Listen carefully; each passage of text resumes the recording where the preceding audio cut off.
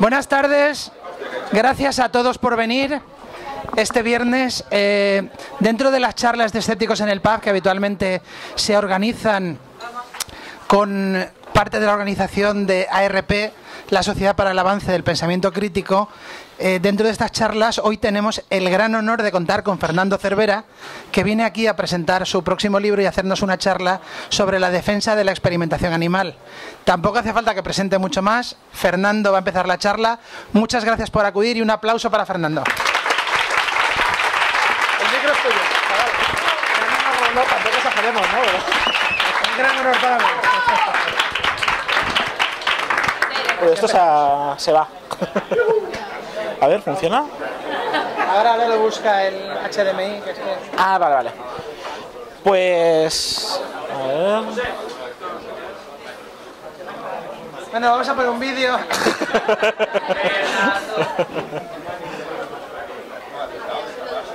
Hay un botón ahí de búsqueda de fuente o algo.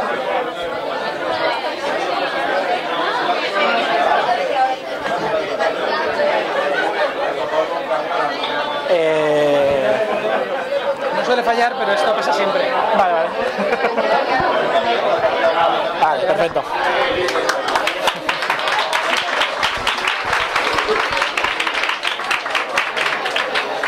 Bueno, pues eh, tal, cual, tal cual comentaba Jesús, eh, la charla de hoy va sobre experimentación animal, en concreto se llama En defensa de experimentación animal y también voy a presentar eh, el, el próximo libro que voy a, que, que, he escrito, que es a favor de la experimentación animal, que trata este tema desde un punto de vista favorable. Pero claro, antes de hablar de algo desde, desde un punto de vista favorable o, o contrario a él, es interesante... Eh, uy, esto no funciona. A ver. Ah, no, espérate, si lo dejo aquí... Ahora. Ahora sí. Eh, es interesante hablar de que es, saber de qué estamos hablando. Así que, ¿qué es la experimentación animal? La experimentación animal es el uso de animales en un entorno de laboratorio con una finalidad científica. Pero claro, hay muchos tipos diferentes de experimentación animal, más allá de la experimentación animal que todo el mundo tiene en mente, que es eh, utilizar animales con fines sanitarios, es decir, probar fármacos, encontrar solución a enfermedades. Hay todo un mundo más allá de este tipo de cuestiones. Por ejemplo, la experimentación animal con finalidad agroalimentaria. ¿En qué consiste este tipo de experimentación animal? Pues básicamente aquí tenemos un ejemplo, eh, un artículo publicado, en el cual se cogió eh, a dos grupos de vacas, ¿vale? Y se le alimentó a cada una de ellas con un alimento diferente. En un caso era un alimento transgénico y en otro un alimento no transgénico. Para ver si en, las, en su leche o a nivel de salud ocurría algún problema en alguno de los dos tipos de vaca. Entonces al final del experimento se concluyó que no había ninguna diferencia entre ellas. Pues bueno, en este caso las vacas no son sacrificadas y es un ejemplo de experimentación animal que no persigue un objetivo sanitario, como el que generalmente conocemos con el tema de testar fármacos, ¿no? Aquí tenemos otro tipo de experimentación animal curioso, que es la experimentación animal con finalidad biotecnológica. Aquí en la foto vemos el atrin. El atrin es un fármaco que básicamente va destinado a un grupo de pacientes que tienen una enfermedad rara que tienen problemas en la coagulación de su sangre. Le falta la antitrombina humana y entonces, bueno, eh, lo, que, lo que ocurrió en este caso es que, claro, como a alguien que no tiene una proteína y no la fabrica él mismo, una proteína humana, ¿cómo se la das? No la puedes sacar de un grupo, no lo puedes coger a, un grupo de humanos y exprimir humanos para sacar la antitrombina y metérsela a ellos. Entonces lo que hizo fue coger el gen, ese gen humano, meterlo en cabras junto con un marcador que hacía que se expresara, un promotor que hacía que se expresara junto a la leche, y entonces en unas 200 cabras actualmente, en su leche, se produce esta antitrombina que se que es, a las vacas se les ordeña, se le purifica esa proteína, se embotella y eso, esas 200 cabras sirven para eh, tratar la enfermedad de toda la población mundial que actualmente está sobre, eh, medicada con este, con este fármaco. Entonces, bueno, es un caso de experimentación animal que aunque sí que persigue al final una, un objetivo sanitario, pues entre medias lo que intentas es conseguir que el animal se comporte como una factoría de cosas que te interesan eh, pues por diferentes motivos, ¿no? Otro caso de experimentación animal es la experimentación animal con, para testar tóxicos. Por ejemplo, aquí tenemos un caso de un artículo en el cual eh, se cogió a dos grupos de ratas y se les administró a un grupo fluoreno, que es un compuesto tóxico, que se sabe que es tóxico, pero claro, los compuestos son más tóxicos o menos tóxicos en función de cómo llegan al organismo. Entonces, claro, si tenemos un compuesto que pues, tóxico, lo tocas o lo inhalas o te lo comes, el efecto no es el mismo. Entonces, en este experimento lo que se hizo fue eh, pues darle a un grupo fluorenos, a otro grupo no darle fluorenos, sacrificar los animales y luego al final ver si eh, en la dieta los fluorenos eran igual de tóxicos que, por ejemplo, inhalándolos o mediante otros modos de, pues de, adquirir ese, compuesto. Y bueno, se concluyó que los fluorenos sí que eran un problema medioambiental bastante serio porque eh, si entraban en la cadena trófica podían producir problemas de salud grave. Este es un ejemplo de eh, otro tipo de experimentación animal que no va dirigido a testar fármacos, sino a ver si hay un compuesto que es tóxico o no. Aquí tenemos otro tipo de experimentación animal, otro ejemplo, eh, que es la experimentación animal con finalidad genética, que lo que persigue básicamente es entender mejor cómo funciona eh, pues, los genes o los genomas de los organismos. En este caso, por ejemplo, este caso comienza, si no recuerdo mal, en los años 70, cuando una enfermedad que es la leucemia mieloide crónica, que es eh, pues, un tipo de leucemia, como su nombre indica, eh, pues un grupo de científicos se dio cuenta que la población de enfermos tenía una traslocación. ¿Qué es una traslocación? Pues es un fragmento de un cromosoma, de cromosomas son estructuras formadas por ADN, que se iba a otra parte del genoma. Y cuando ese trozo arrastra, se iba a otra parte del genoma, eh, a, otro, a otro cromosoma, lo que ocurría es que se arrastraba un gen, que es el ABL y se fusionaba con el BC, el BCR, ¿vale? Entonces, eh, lo que los científicos planteaban es que a lo mejor esa era la causa de la leucemia, pero no lo sabían.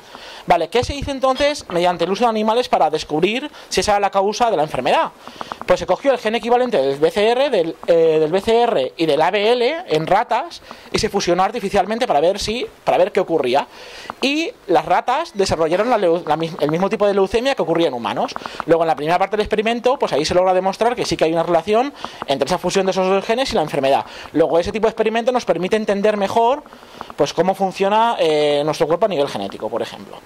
Y luego la siguiente parte, que es la parte sanitaria, es que ese tipo de ratas se utilizaron para intentar buscar tratamientos eh, para esta enfermedad. Luego es un caso de experimentación que demuestra que las fronteras a veces en un tipo de experimentación y otra no están tan claras. Lo que hoy en día nos permite conocer mejor una enfermedad, en el futuro también nos puede servir para aprender a combatirla. Entonces hemos visto de forma introductoria qué es la experimentación animal con algunos ejemplos. Pero qué no es la experimentación animal. ¿Qué cosas se dicen que es experimentación animal y no lo son? Por ejemplo, la experimentación animal no es sinónimo de salvar vidas. Hay una parte de la experimentación animal que sí que tiene una finalidad sanitaria, pero hay otra parte de la experimentación animal que no tiene una, finalidad sanitaria. Luego, la experimentación animal no es sinónimo de salvar vidas, eh, aunque una parte importante de la experimentación animal sí que va destinado a ello. Y luego, la experimentación animal no siempre busca una aplicación en seres humanos. Hay una parte de la experimentación animal que lo que busca es ampliar el conocimiento sobre una cuestión, lo cual no tiene una aplicación directa sobre el ser humano, o buscas, por ejemplo, entender eh, cómo funciona un tóxico a nivel medioambiental, lo cual sí que tiene a la larga una función, o sea, una aplicación humana porque nos puede afectar a nosotros, pero a lo mejor buscas una finalidad medioambiental y no una aplicación directa. Entonces, hemos hablado de qué es la experimentación animal y qué no es la experimentación animal. Pero más allá de eso, eh, que algo pueda hacerse no significa que deba hacerse. Siempre toda aplicación científica tiene que tener un tiene que estar bajo la tutela de, la ética y tiene que estar bajo pues, pues eso, que algo pueda hacerse, que podamos crear bombas de, destrucción masiva no implica que tengamos que fabricarlas y tirarlas al vecino de al lado. Entonces, eh, la experimentación animal es ética, debería de permitirse, no debería de permitirse. Pues bueno, para responder a esta pregunta, eh, antes me gustaría hablar de números. Es decir, eh, ¿cuántos animales se utilizan? ¿Para qué se utilizan? Antes de valorar eh, pues, si está bien, si está mal, porque sería interesante, más allá de saber para qué la experimentación animal, para qué se utiliza y cuántos animales se utilizan. Pues bueno, aquí vemos una gráfica eh, es, una gráfica que he creado a partir de los datos de, 2013 proporcionados por el Ministerio de Agricultura sobre a dónde, eh, qué tipos de animales se utilizan en experimentación animal. Porque no es lo mismo utilizar ratones o moscas que utilizar primates, por ejemplo. Todo el mundo comparte la idea de que no es lo mismo experimentar con un tipo de animal o con otro. Entonces, bueno, aquí vemos en esta gráfica que prácticamente los ratones, las ratas, los peces y el aves y las aves son prácticamente pues el 95%, el 90% de los animales que se utilizan en, experimentación animal. Luego tenemos otro grupo que es el de las cobayas, eh, conejos, cerdos y anfibios que tienen sustancialmente muchos menos individuos usándose en los, laboratorios, pero bueno, que sí que tiene una cantidad bastante importante. Y luego por último también hay ovejas, perros, gatos y macacos, pero en cantidades muy pequeñas. ¿Cómo de pequeñas? Bueno, pues aquí tenéis los datos exactos. Para que veáis, el 80% prácticamente eran ratones eh, y el resto eran otros, bueno, pues para que veáis los datos, ratones son 600.000 en España, más o menos, y macacos unos 300, ¿vale? Para que veáis de dónde, de dónde van las gráficas en cuanto al número, ¿no? Entonces, vale, estos son números, pero esto es mucho, es poco. Entonces, claro, para medir esto, eh, esto es difícil de saber, pero sí que podemos coger y compararlo con otras actividades humanas que generan un impacto en los animales, es decir, que también generan que muchos animales mueran o que muchos animales sufran, etcétera, etcétera. Por ejemplo, en el mundo, 120 millones de vertebrados se utilizan en investigación, ¿vale? Pero en el mundo, al año, 200.000 millones de vertebrados se utilizan para alimentación. Es decir, los animales que utilizamos en laboratorio supone el 0,06 de esa cantidad. Otro ejemplo. En España, ¿cuántos ratones mueren atropellados en la carretera al año? Aunque parezca mentira, hay gente que se ha dedicado a medirlo, ¿vale? En la Universidad Complutense de Madrid, el artículo está abajo, y resulta que en España mueren aproximadamente 33 millones de roedores al año en las carreteras. Si recordáis el número de antes, eh, eran en torno a unos 600.000 ratones los que se utilizan en, laboratorios, pues eh, eso supondría el 2,44% de la cantidad de animales que, de ratones que mueren en las carreteras. Luego vemos que otras actividades humanas, como construir carreteras para conducir de un lado a otro, o comer eh, en el Foster una hamburguesa con tus amigos, ¿vale? Eh, en realidad supone un, pues, un impacto sobre la vida de los animales mucho más elevado que la experimentación animal. Lo cual no quiere decir que esté bien o mal, pero son datos que está bien que, la gente sepa. Pero claro, ¿Para qué se utilizan estos animales? No es lo mismo que se utilicen para salvar vidas que no se utilicen para salvar vidas. Es importante que alguien sepa esos datos para valorar a nivel propio interno si le parece bien o mal que se haga experimentación animal. Entonces, bueno, aquí tenemos otra gráfica sacada del mismo informe del Ministerio para el año 2013, en el cual, por ejemplo, vemos que en investigación básica, es decir, investigación que no busca una aplicación directa sobre el ser humano, sino entender mejor procesos básicos, van a parar el 52% de los animales. Es decir, más de la mitad de los animales no buscan una aplicación directa, sino ampliar las fronteras del conocimiento. En cambio, por ejemplo, vemos otro grupo formado por investigación y desarrollo de productos médicos y veterinarios, evaluaciones de seguridad y toxicológicos, control de eh, y producción de productos veterinarios, diagnóstico de enfermedades, control y producción de productos médicos, que sí que están englobados más o menos en el ambiente sanitario y forman aproximadamente más o menos la otra mitad. Luego la mitad de los animales sí que tienen utilizados, sí que buscan una, finalidad sanitaria y la otra mitad no, ¿vale? Más o menos. Esos son los números. Pero tal cual decíamos, que algo puede hacerse no significa que deba hacerse. Entonces, en torno a la cuestión ética, eh, quiero hacer un pequeño experimento ahora, antes de continuar la charla. Y es, eh, yo os voy a proponer unos animales que se utilizan en laboratorios. Y quiero que levante la, gente, eh, la mano la gente que, está a favor de que esos animales, o que podría estar a favor, no estoy pidiendo una postura, esto no, me están grabando a mí, no a vosotros, ¿vale? O sea que no, os preocupéis, ¿vale? Eh, nadie va a ver, los que levantéis la mano y queden grabados va a ser de espaldas, así que no os preocupéis. Eh, quiero que levantéis las manos aquellos que estéis a favor de utilizar que se utilicen estos animales en laboratorios, ¿vale? El primer ejemplo que tenemos es C. elegans, que es un nematodo que se utiliza mucho en laboratorios. ¿Cuántos de vosotros estáis a favor de que se utilicen estos animales en laboratorios? ¿Vale? ¿Vale? No, bajéis las manos, ¿eh? Dejarlas arriba. Porque claro, lo que vamos a hacer es que eh, voy a poner otras imágenes y los que estéis en contra de que se utilicen, pues vais a ir bajando manos, ¿vale? Eh, aquí tenemos eh, pisum, ¿vale? Que es un pulgón que se utiliza en laboratorios. Los pulgones son insectos muy pequeñitos que viven encima de, de plantas y se alimentan de ellas. Se utiliza mucho en laboratorios también. Siguiente, Drosophila megalonaster, una mosca que se utiliza mucho en laboratorios de investigación. ¿Vale?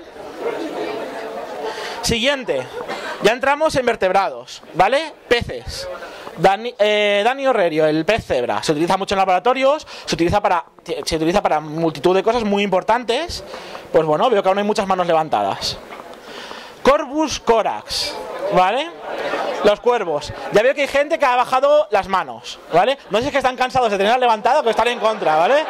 Pero pero os pido un esfuerzo que la, que la sigáis manteniendo levantado los que penséis que sí que está, es- está bien, ¿no? Siguiente, Gaius Gaius domesticus. Bastantes manos todavía. Mus musculus, ratones. He visto algunas manos bajarse cuando hemos entrado en mamíferos, ¿vale? Sigamos. Eh, conejos. ¿Vale? Conejos. Seguimos. Canis lupus, perros. Aquí ha habido bastantes manos bajadas ahora de repente, ¿vale? Macaca mulata, la cosa se pone seria, ¿vale? Muchos macacos actualmente se utilizan en laboratorios, por ejemplo, para estudiar eh, temas relacionados con Alzheimer o con tuberculosis, ¿vale? Pantrolodites, chimpancés, ¿vale? Aquí ya hay bastante gente con las manos bajadas, hay gente que la tiene levantado. Y ahora recuerdo que estamos hablando de utilizar animales en contra de su voluntad, ¿vale? Humanos, ¿vale? Aquí porque es Justin Bieber, ¿vale? Pero. Pero. Pero ahora, dejando aparte que es Justin Bieber, imaginaos que es un humano normal y corriente, ¿vale? ¿Qué opináis acerca de, de- hacer investigación con humanos en contra de su voluntad? ¿Quién está de acuerdo? En contra de su voluntad, ese dato es importante. Vale, todo el mundo baja la mano. Todo el mundo baja la mano. Vale, más o menos. Vale, eh, vale, entonces, hemos visto una cosa curiosa. Hemos visto una cosa curiosa y es que en función del tipo de animal hay gente que se muestra a favor o en contra. Pero ¿por qué ocurre eso? Si vamos a los datos, eh, sin entrar a valorar qué tipo de animal se utiliza en la investigación científica, vemos que en Europa, en el año 2010, en el Eurobarómetro que se publica todos los años, hasta el año 2010 se incluía una pregunta a la población, es decir, ¿estáis en contra o a favor de la experimentación animal? Y en el año 2005 el 34% de la gente estaba en contra. Y en el año 2010 el 37% estaba en contra. Si vemos, eh, no he puesto más datos porque el Eurobarómetro que era con el que yo quería comparar ya no, ya no incluía la pregunta. Pero si vemos otras aproximaciones vemos que sí que sigue aumentando. Es decir, la gente cada vez más está en contra de la experimentación animal. Y eso no ocurre solamente en España y en Europa, ocurre en Estados Unidos y en la mayoría de países que utilizan la experimentación animal o países tecnológicos. Pero ¿por qué sentimos más empatía por unos animales que por otros? ¿Por qué hemos ido bajando cada vez más manos conforme hemos he ido avanzando en las presentaciones? Pues Conrad Lorenz eh, ofreció un punto de vista interesante sobre nuestra relación con los animales con respecto a nuestra empatía hacia ellos. Conrad Lorenz fue un etólogo eh, austriaco, nacido a principios del siglo XX. Esta imagen la he sacado de unos dibujos que yo veía de pequeño, que era, era un- Eras una vez el hombre, ¿vale? Aquí tengo una imagen un poco más seria, ¿vale? Eh, vale, pues Conrad Lorenz se dedic- dedicó su vida al estudio del comportamiento de las aves y fue, hizo estudios tan importantes y avanzó tanto en el conocimiento del comportamiento que de hecho ganó un premio Nobel de fisiología, medicina barra fisiología, junto con otros dos etólogos. Y este hombre escribió un libro muy interesante llamado eh, Studies in Animal and Human Behavior. Y en el volumen 2 de ese libro escribió una frase que voy a leer ahora. ¿Vale? Dijo, los seres humanos sienten, sienten afecto por los animales con rasgos juveniles, ojos grandes, cráneos abultados, mentones poco pronunciados. Los animales de ojos pequeños y hocico largo no tienen la misma respuesta. Esta frase vino acompañada con una ilustración bastante interesante, ¿vale? La ilustración original es la que no está en color, la otra es una representación actual. Y lo que vemos es que la primera columna son animales con rasgos juveniles, la segunda columna son animales con rasgos de adulto. Entonces, de verdad, cuando tú preguntas acerca de la empatía o preguntas cómo estás, tú estás a favor o en contra de experimentar con animales, generalmente que a nivel facial tengan ciertas características, ojos grandes, cráneos abultados, generan cierto más empatía que otros animales, lo cual es un sesgo bastante interesante porque no se basa tampoco en la capacidad de sufrimiento del animal, ¿no? De hecho, eh, al respecto de cómo, de cómo sentimos empatía o no en función de los rasgos del animal en concreto, eh, bueno, aquí tenemos otro ejemplo. Eh, vemos un chimpancé con rasgos juveniles y un chimpancé con rasgos de adulto. Los rasgos juveniles generalmente tienen a despertar en nosotros más empatía, además en este caso porque son también más similares al ser humano, que de hecho el chimpancé joven tiene una estructura facial muy parecida a la nuestra. En concreto, un estudio muy interesante que hizo Stephen Jay Gould, llamado Mickey Mouse meets Conrad Lawrence, ¿vale? lo que se dedicó eh, eh, Stephen Jay Gould es a, ver la evolución durante 50 años de los rasgos físicos de Mickey Mouse. Y diréis, ¿por qué debería de cambiar Mickey Mouse su apariencia a lo largo de 50 años? Porque si bien es cierto que a nivel biológico existe la selección eh, natural o la selección artificial, también sobre objetos inanimados también se puede aplicar cierto tipo de selección artificial. Y en este caso, los dibujantes de Disney durante 50 años han ido evolucionando sus dibujos para generar mayor empatía en el espectador. Y a este respecto, Mickey Mouse ha tenido una evolución muy interesante, porque tal cual veíamos antes, los rasgos iniciales de Mickey Mouse eran tener hocico largo, ojos pequeños, cráneo poco abultado, es decir, era un ratón adulto. Y acabó, como la película está del extraño caso de Benjamin Button, que nació viejo y acabó joven, y acaba actualmente con una forma juvenil de, un ratón, es decir, con cráneo abultado, ojos más grandes, frente más ancha, ¿vale? El hocico más pequeño. De hecho, aquí tenemos una imagen del 1928 y aquí tenemos una imagen actual, ¿vale? Entonces, es cierto que hay, hay rasgos que nos generan más empatía y menos en función del, pues, de lo que estemos hablando. ¿Está bien experimentar con animales? ¿Con qué animales sí, con qué animales no? Porque claro, realmente muchas veces eh, nos, basamos en sesgos bastante curiosos como la apariencia del animal, si nos parece más mono o menos mono, para decir, bueno, con este no, pero con este sí, ¿no? Entonces, eh, Peter Singer, que fue un filósofo que se, opone a la, que se opone a la experimentación animal, intentó responder a esta pregunta basándose en el, en el utilitarismo. Básicamente él decía que el sufrimiento animal, según su percepción, era indistinguible del sufrimiento humano y que él eh, veía que no había motivos para, para ver que que habían diferencias reales. Entonces él argumentaba eso y que a nivel histórico los seres humanos hemos tendido a otorgar derechos a, otros seres humanos no en función ni de su color, su raza, eh, su tamaño, eh, su, procedencia social, su inteligencia, sino en función a su capacidad de, eh, de sufrir. Entonces él argumentaba que como la capacidad de sufrir de los animales no es diferente a la humana, que deberían tener derechos, lo cual incluiría no poder experimentar en contra de su voluntad, eh, en contra de su voluntad sobre ellos, ¿no? Eh, igual que eh, hacemos con un humano, a no ser que sea Justin Bieber, como hemos comprobado hace un momento, ¿vale? Pero vamos a analizar esta, esta proposición, ¿vale?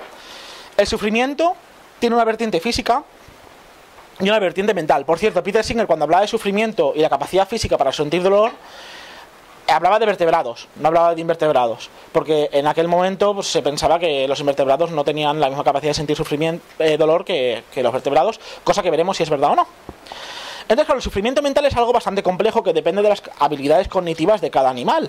Pero medir las habilidades cognitivas de un animal es un tema de debate muy intenso a nivel etológico. Y hay muchos expertos intentando hacer test que intenten eh, eh, que se puedan aplicar a diferentes animales para ver sus habilidades cognitivas. Luego es un tema bastante discutible. Y una de las cosas que se utiliza mucho es la proporción del tamaño del cuerpo frente al tamaño del cerebro. Entonces, si vamos a ese respecto, aquí vemos una gráfica donde vemos eh, el logaritmo del, tamaño, en el eje de las X vemos el logaritmo del tamaño del cuerpo y en el eje de las Y el logaritmo del volumen del cerebro. Que no sepa de matemáticas no se preocupe, ¿vale? Porque es muy sencillo. Aquí tenemos unas, unas barras, ¿vale? Y lo que está encima de las barras tienen una proporción igual de tamaño del cuerpo frente al tamaño del cerebro. Por ejemplo, no es lo mismo tener el cuerpo de un elefante y el cerebro de una nuez, como del tamaño de una nuez, que tener el, el cuerpo de un elefante y la mitad del cuerpo que sea cerebro, ¿vale? Entonces, bueno, esa proporción se ha utilizado mucho para intentar medir ciertas habilidades eh, en los animales. Hay muchas críticas al respecto, pero es una aproximación que se utiliza en que se utiliza como cualquier otra, ¿vale? Pues bueno, si vemos esta, esta recta, esta gráfica, vemos que los cuervos y los loros, a pesar de que despiertan mucha menos empatía en nosotros, tienen una proporción muy similar a la que tienen, por ejemplo, eh, muchos primates o los delfines.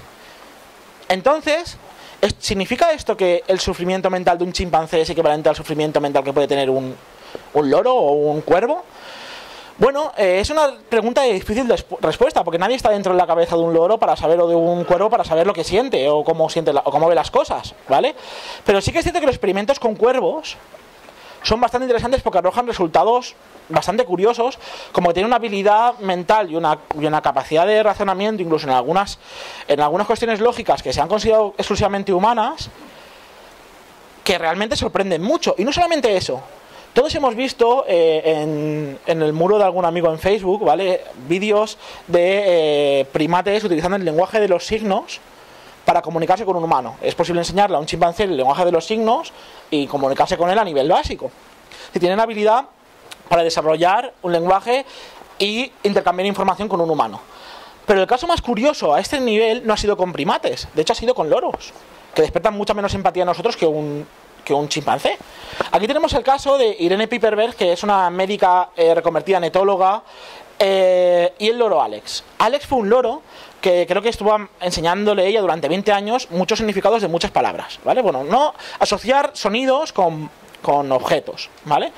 Pero luego este loro no solamente desarrolló eh, habilidad para reconocer objetos, sino que, eh, por ejemplo, era capaz de combinar diferentes eh, palabras para referirse a cosas diferentes y tenía cierta lógica, y además entendía conceptos como mayor que, menor que, sabía asociar eh, esos conceptos a colores, con formas geométricas, y tenía cierta capacidad de razonamiento lógico como responder a preguntas de qué objeto era mayor que otro. es decir, que los procesos cognitivos que pueden haber en el cerebro de estos animales son bastante complejos y son de difícil estudio.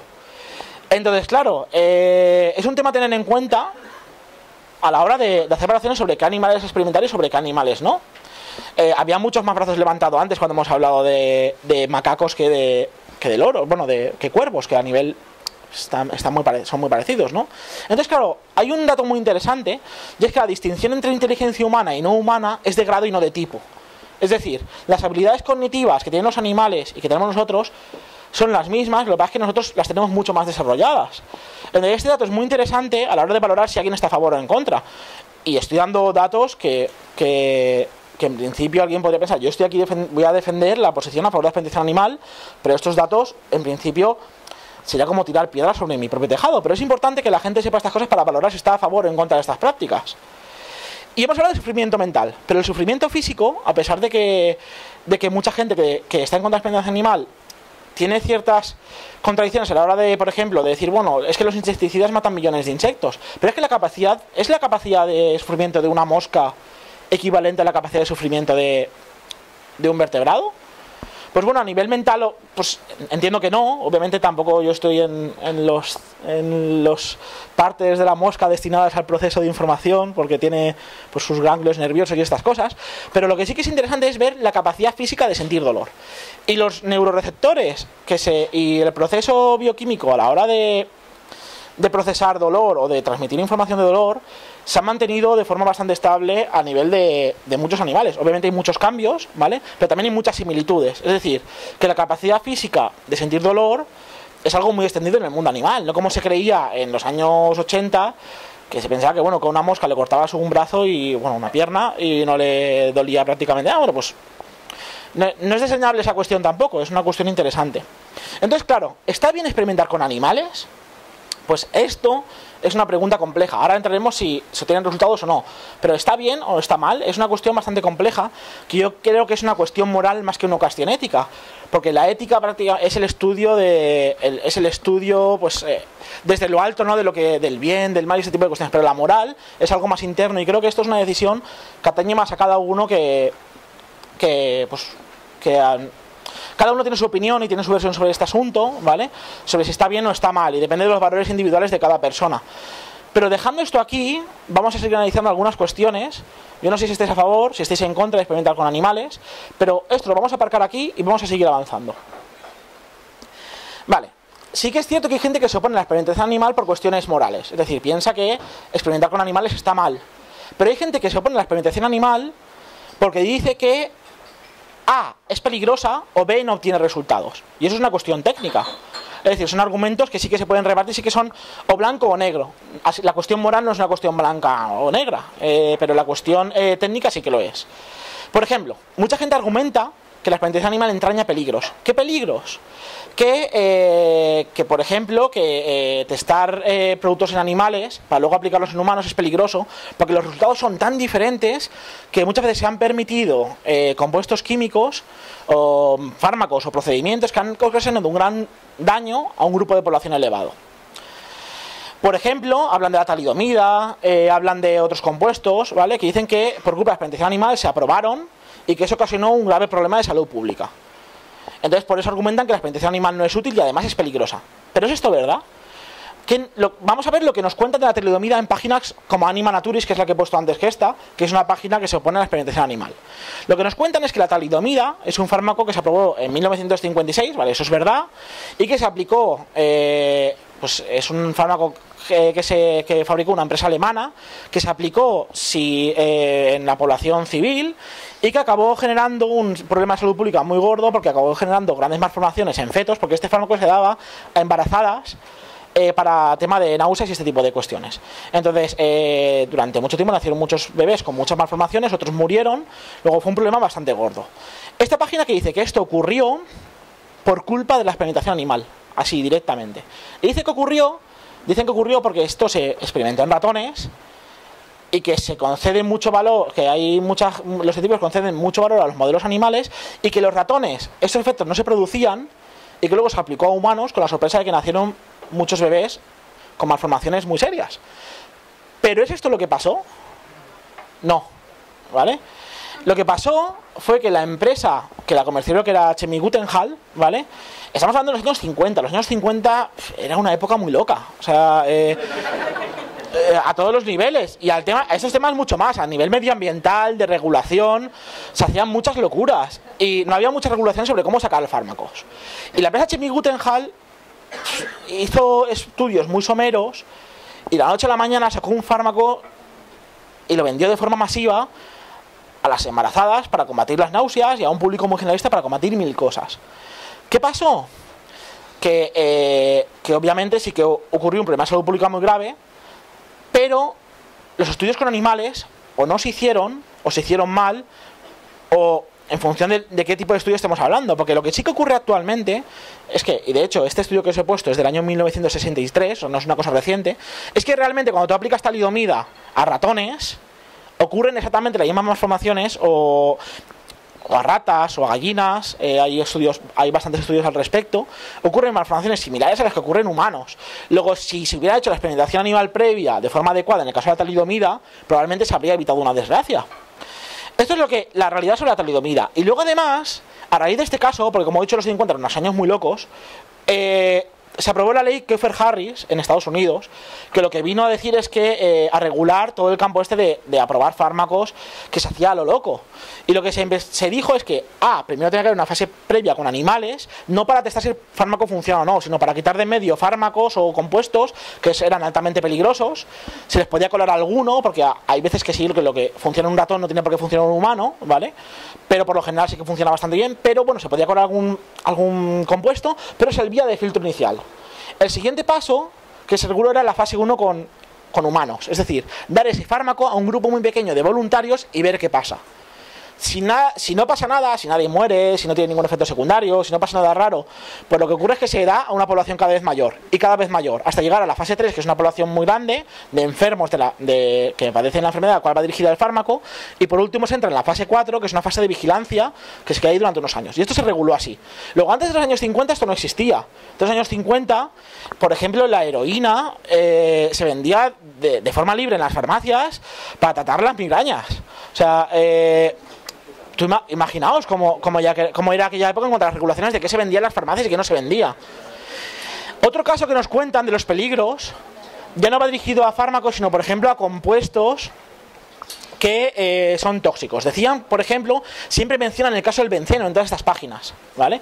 Dicen que el benceno durante muchos años la empresa, las empresas eh, que estaban englobadas dentro de la venta del benceno lo seguían produciendo y vendiendo, luego tenían grandes beneficios. Y que el benceno era cancerígeno, en las fábricas donde se fabricaba, los, los trabajadores padecían graves tumores y y este tipo de cuestiones, y que las empresas eh, no querían parar de venderlo y que se apoyaban, eso es lo que cuentan estas páginas, y se apoyaban en experimentos con animales porque dicen que los resultados que se tienen en roedores son diferentes a los resultados que se obtienen en, en humanos. Es decir, que ellos argumentaban que dándole benceno a las ratas no se producían tumores y que entonces, claro, eh, la- las empresas utilizan ese argumento falaz para defender la venta del benceno. Vale, pero ¿es esto lo que pasó realmente? No, ¿vale? La experiencia animal aquí tampoco tuvo la culpa. Los pobres ratones fueron inocentes de eso, ¿vale?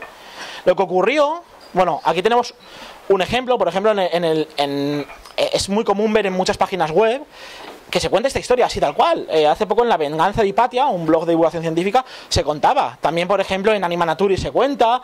En muchas páginas se cuenta este tipo de, de historias que no son reales. ¿Qué es lo que ocurrió en realidad? ¿Cuál es la realidad del caso del benceno?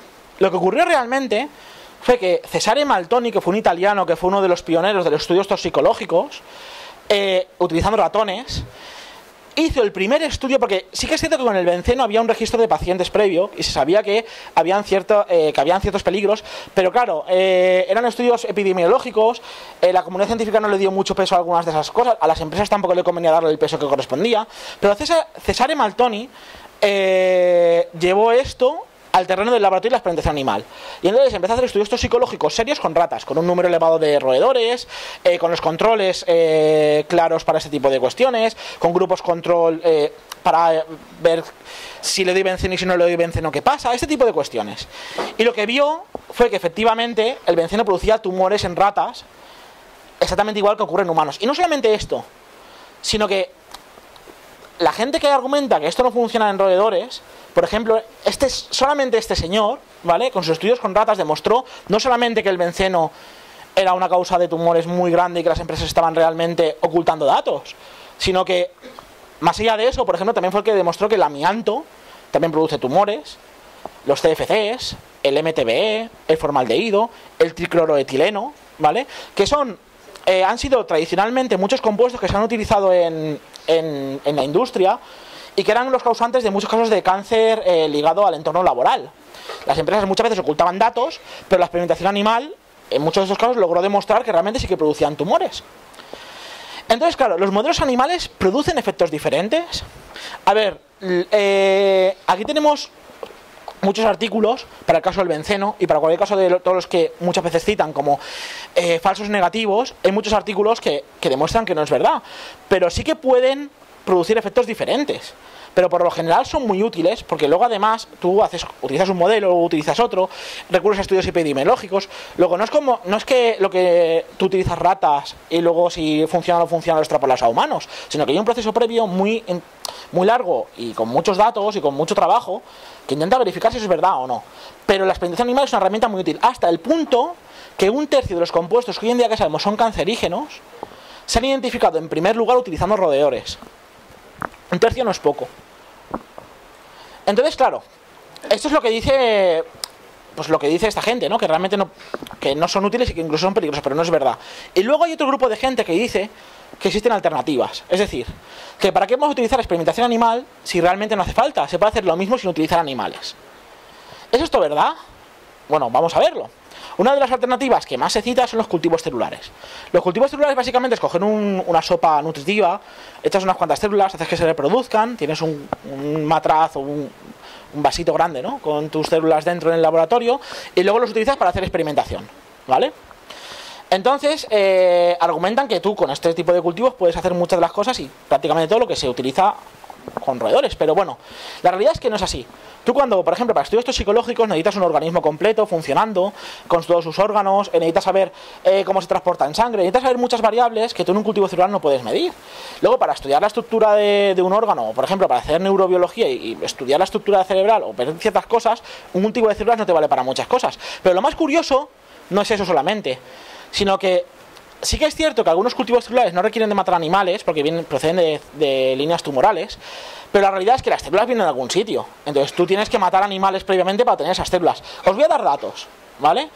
En, eh, el año 2000, 2006, exactamente, en Alemania se utilizó un total de 1.822.000 animales en experimentación animal. ¿Sabéis cuántos de esos animales eh, se, se utilizaron para tener cultivos celulares? La supuesta alternativa a la experimentación animal. Eh, medio millón, más o menos. Luego no es poca cosa. Es decir, no, no es una alternativa A en primer lugar porque no sirve para lo mismo y B porque matas animales igualmente. ¿Vale? Pero es una de las alternativas más citadas. Otra es utilizar humanos. Y no me refiero ya a mucha gente que defiende que se utilicen presos en vez de, de utilizar animales. Que eso es una locura y ni siquiera voy a entrar a rebatirla. ¿Vale? Eh, mucha gente dice que en los estudios que hemos hecho antes de testar fármacos, al final tienes que recurrir a humanos, esa es la verdad, tienes que hacer estudios de fase 1, de fase 2, de fase 3 y de fase 4. Pero lo que dicen es, no utilicemos animales, si al final hay que utilizar humanos. Vale, los animales tú los utilizas en primera instancia como filtro para que no se te cuelen sustancias que pueden matar a las primeras personas que van a tomar ese fármaco. Y aún así corren mucho riesgo esas personas. Entonces, la propuesta de esta gente es que como hay que utilizar humanos, que no utilicemos animales. Es decir, que hay un filtro que hace que, se, que no se cuelen muchas sustancias que son muy peligrosas, y lo que propone es que quitemos el filtro y no pongamos nada en su lugar. Eso no es una alternativa. O sea, no utilizar algo no es una alternativa. Y en este caso, además, tendría unas, unas consecuencias desastrosas. Otra de las alternativas muy citadas es el uso de modelos informáticos. Mucha gente dice que actualmente con las modelaciones es una cosa que se vamos en Anima Naturis lo pone en cualquier en cualquier página que entres se, se, se- se dice este tipo de cuestiones, ¿vale? Pero claro, eh, los modelos informáticos sirven para lo que sirven. Tú, un modelo informático eh, puede ser muy avanzado, puedes tener muchas variables dentro de ese modelo, pero tú no puedes estar un fármaco en un, en un programa informático, tú no puedes ver la estructura del cerebro en un programa informático, no puede ser nada de lo que se hace utilizando animales en un modelo informático. Los modelos informáticos son muy útiles, pero no son una alternativa a la animal. Todo lo que hemos visto son cuestiones muy útiles, pero no son alternativas en ningún caso. Entonces, ante la pregunta, ¿existen alternativas? No. O sea, es muy sencillo. Así como la cuestión moral es una cuestión muy es una cuestión dependiente de cada uno, en cuanto a este tema no hay discusión posible, igual que en cuanto a los peligros. Entonces, hemos visto la parte moral, hemos visto la parte técnica y luego nos queda una última parte que voy a pasar muy rápido porque creo que aquí nadie es fan de las leyes, ¿no? Entonces, eh, pero voy a hablar un poco de la legislación que hay en torno a estas cosas, porque también hay mucho falso mito. Eh, ahí veo un par de abogados diciendo, no, habla, habla, pero no. eh, las leyes. Mucha gente argumenta que la experimentación animal es un terreno totalmente desregulado, eh, aunque no argumente eso, dice que la ley es insuficiente. Entonces, bueno, voy a hablaros solamente de tres cosas muy rápidas que contempla la legislación actual. Bueno, la legislación actual que regula la experimentación animal es una directiva europea. Estoy hablando de Europa, ¿eh? obviamente esta directiva no se aplica en Estados Unidos. eh, que es la 2010-63-UE. Aunque la normativa estadounidense es muy parecida y en otros países también es muy parecida. Pero bueno, esta normativa europea, que es muy completa y muy extensa, en primer lugar contempla el principio de las tres R's. ¿Qué son las tres R's que contempla esta normativa? Las R's nacen de tres palabras, reemplazamiento, reducción y refinamiento. El, eh, reemplazamiento básicamente significa que eh, no hay que utilizar animales cuando existen alternativas a utilizar animales. La segunda reducción es utilizar el mínimo número de animales en experimentos. Si puedes utilizar uno, no utilices 20. Si puedes utilizar, si puedes utilizar 20, no utilices 200. Y luego, por último, tenemos el refinamiento. El refinamiento básicamente lo que nos dice es que a los animales que tengamos que utilizar, que se les trate de la forma más ética posible, en el sentido de que, eh, de que si tienen que padecer dolor, que sea con las mínimas condiciones, pues con sedación, bajo sedación para que no se padezcan dolor, eh, que vivan de la forma más digna posible. Entonces, claro, la normativa europea contempla todas estas cosas. Es más, cuando tú presentas un experimento que va a involucrar animales, tienes que pasar unos comités éticos y, y- y una regulación muy, muy densa. Y si lo primero que miran es esto, y si no lo cumple, tú no haces el experimento. Es así de simple. Luego, mucha gente que está a favor de la experimentación animal argumenta que la experimentación con primates está prohibida. ¿Es eso verdad? ¿Es mentira? Bueno, pues la experimentación con primates no está prohibida, está altamente regulada. Entonces, para que, a pesar de que, de que es una cosa que de forma falaz defiende mucha gente que sí que está a favor de la experimentación animal, conviene recordar que, que la experimentación con primates no está prohibida. ¿Qué es lo que dice la normativa europea sobre la experimentación con primates? Bueno, aquí tenemos un árbol filogen, eh, tenemos un, pues, una relación de, especies, ¿no? Por cercanía a los humanos. Los humanos están en, el extremo de la derecha, ¿vale? Y lo que está más cerca de los humanos es lo que evolutivamente está, está más cercano a nosotros, ¿vale? Los humanos están muy cerca de los chimpancés, los gorilas y los orangutanes. Y eh, en el gran público ese grupo de animales se conoce como grandes simios, ¿vale? Grandes primates. Entonces, bueno, lo que dice la normativa europea respecto a los grandes primates es que eh, solamente se pueden utilizar estos animales bajo dos conceptos muy claros y muy restrictivos. El primero es que si, no utilizas estos animales y no existe ninguna otra alternativa para salvar a un gran número de personas, estos animales no se pueden utilizar. Y la segunda cuestión que dice la normativa europea es que estos animales se pueden utilizar para cuestiones de conservación de su propia especie. Por ejemplo, recientemente en el caso del ébola en África, el ébola afecta también a, a y a gorilas. Y ha supuesto un grave problema para la conservación de los, chipa, de los y los gorilas en libertad, porque ha diezmado las poblaciones de chimpancés y ha afectado de forma muy densa a las poblaciones naturales.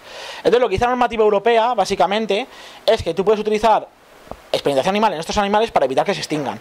Y, por ejemplo, se ha creado una vacuna que se tendrá que aplicar en las poblaciones naturales para que no lleguen la, para que no se extingan o para que no queden seriamente dañadas. Luego es, un, es una cosa interesante que sí contempla la, normativa europea. ¿Y qué pasa con el resto de primates? ¿Qué pasa con lo que hay más allá de los orangutanes en ese árbol?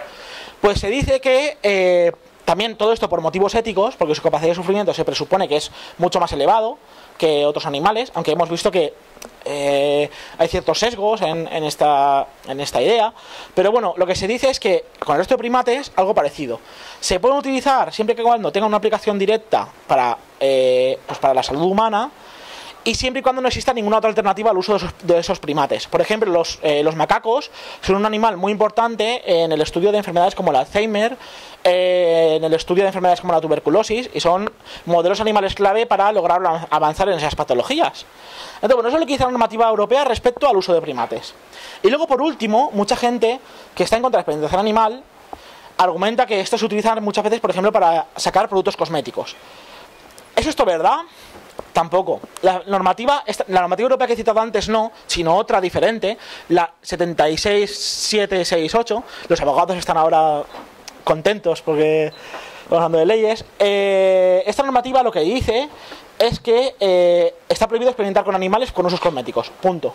Ya está. ¿Vale? Es así de simple. Luego, ¿se puede hacer experimentación animal en Europa con fines cosméticos? No. Eh, en otros países, difícil. En Estados Unidos, si no recuerdo mal, también está eh, prohibido. En otros países está en vías de prohibición. La única excepción aquí es China, ¿vale? Que sí que lo permite, ¿vale? Esa es la realidad. Y ya está el final de la parte de leyes, ¿vale? Y por último, antes de dar paso a nuestra tertulia para que cada uno exprese sus opiniones y este tipo de cosas, quiero hacer una reflexión. Y es que cuando estamos valorando si algo se debe hacer o no se debe hacer, además de eh, además de ver los motivos morales y la cuestión técnica, también hay que ver una cuestión, que es la proyección a futuro. Es decir, ¿a qué estamos renunciando? ¿Qué estamos dejando escapar por no utilizar animales? La experimentación animal, ¿qué papel ha tenido que lleguemos hoy en día? Pues vamos a intentar responder alguna de esas preguntas. Aquí vemos una representación de Luis Pasteur. Luis Pasteur fue un científico muy conocido eh, y fue el padre de la vacunación moderna.